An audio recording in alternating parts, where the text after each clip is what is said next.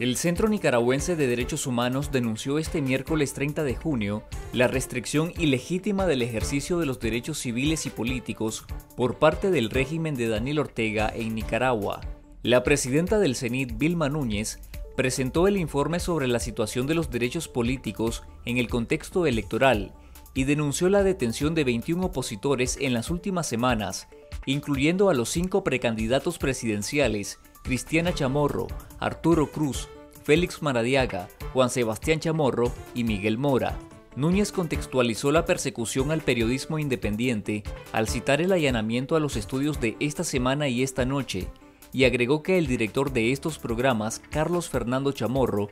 es víctima de una campaña calumniosa y estigmatizante que lo obligó a exiliarse por segunda vez para salvar su vida y su libertad.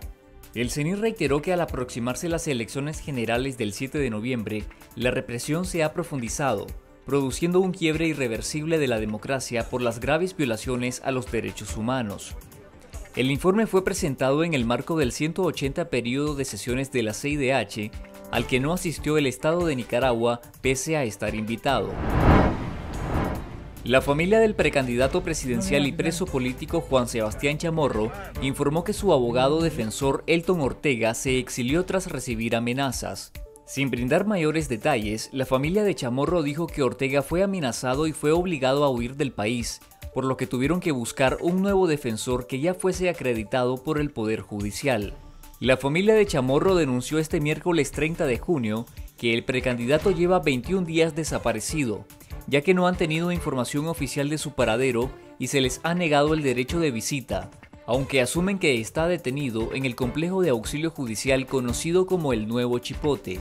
El nuevo abogado de Chamorro no fue identificado, pero según los familiares introdujo un segundo recurso de exhibición personal para recordar a las autoridades la resolución de la Corte Interamericana de Derechos Humanos que otorgó medidas provisionales en favor de Chamorro incluyendo el mandato de su liberación inmediata.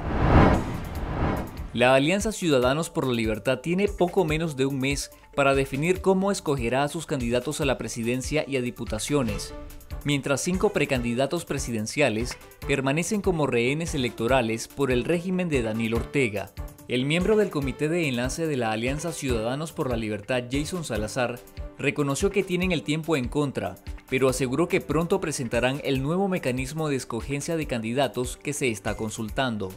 No hay posibilidad de que nosotros construyamos un candidato de verdad, ni siquiera, eh, ni siquiera ni siquiera el candidato eh, a la presidencia, mucho menos los candidatos a diputaciones, que es la parte que sí. Entonces, lo que nosotros estamos tratando de construir es un mecanismo en el cual haya una especie de competitividad y a la misma vez de que haya certeza hacia la población, que es el votante que nosotros necesitamos, eh, de que eh, la persona fue electa de la manera más democrática posible. El periodo de presentación de candidatos está previsto entre el 28 de julio y el 2 de agosto, según el calendario del Consejo Supremo Electoral. Sin embargo, luego sigue el periodo de revisiones e impugnaciones que culmina el 18 de agosto con la publicación definitiva de los candidatos. Salazar prevé que las impugnaciones pueden ser utilizadas por el gobernante Frente Sandinista para inhibir a otros candidatos, aprovechando su control del Consejo Supremo Electoral. Costa Rica mantiene activos sus servicios en Nicaragua y opera con normalidad sus consulados generales en Managua y Chinandega, aunque el gobierno costarricense pausó este mes el envío de una nueva embajadora. El Ministerio de Relaciones Exteriores de Costa Rica aseguró a Confidencial que la misión diplomática sigue funcionando como hasta la fecha y bajo la dirección de un encargado de negocios interino. Costa Rica no tiene embajador en Nicaragua desde junio de 2018. En marzo, el gobierno costarricense anunció a Cinia Vargas Mora como la nueva embajadora en Nicaragua, pero el 21 de junio, el Consejo de Gobierno anunció la interrupción del nombramiento. Pese al impasse diplomático, la recepción de solicitudes de visas sigue abierta desde inicios de abril pasado, cuando los consulados costarricenses en Nicaragua reanudaron sus servicios tras haber permanecido suspendidos por la pandemia. Según el Ministerio de Relaciones Exteriores de Costa Rica, el consulado costarricense en Nicaragua emite 100 visas diarias desde la reapertura de sus funciones, 70 en la sede de Managua y 30 en la de Chinandega. El periodista y director de Notimat, Eduardo Montenegro, regresó del exilio en Estados Unidos y compareció este miércoles ante el Ministerio Público, que lo citó como parte de la investigación por supuesto lavado de dinero en contra de la desaparecida Fundación Violeta Barrios de Chamorro y de su exdirectora Cristiana Chamorro Barrios. Montenegro explicó que se encontraba en Estados Unidos bajo el estatus de asilado,